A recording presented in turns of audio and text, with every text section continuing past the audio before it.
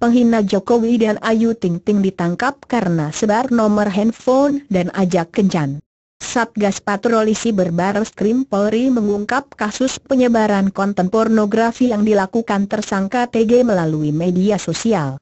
Penangkapan tersebut berawal ketika Satgas Patroli Siber menemukan satu akun yang menyebarkan nomor HP-nya, serta mengajak sesama pria untuk berkencan jadi tersangka ini menyebarkan nomor miliknya serta melakukan ajakan kencan, sehingga hal ini membuat akun media sosialnya menjadi interaktif, kata AKBP Susatyo Purnomo, Kepala Satgas Patroli Siber Krim Polri, di Rumah Sakit Polri Kramat Jati, Jakarta Timur, Jumat, 3 November 2017.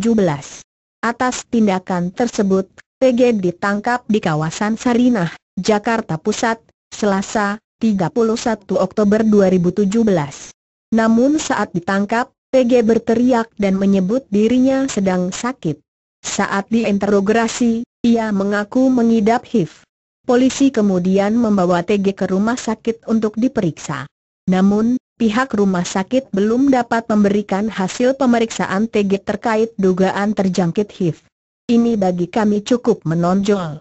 Dalam konteks yang kami temukan, ada ajakan dengan sengaja menyebarkan nomor yang bersangkutan agar dapat bisa bertemu netizen lain, tutur Susatyo.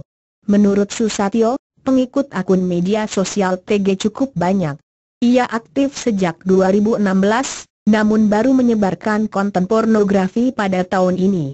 Dari salinan percakapan di media sosial, PG juga memosting gambar yang menunjukkan aksi pornografi sesama jenis.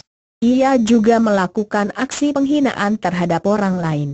Untuk itu, Satgas Patroli Siber Krim Polri mengimbau masyarakat agar menggunakan akun media sosial secara bijak. Diimbau kepada masyarakat, khususnya netizen, lebih hati-hati dan bijaksana terhadap berteman di media sosial, atau menampilkan gambar profil picture di media sosial, imbaunya.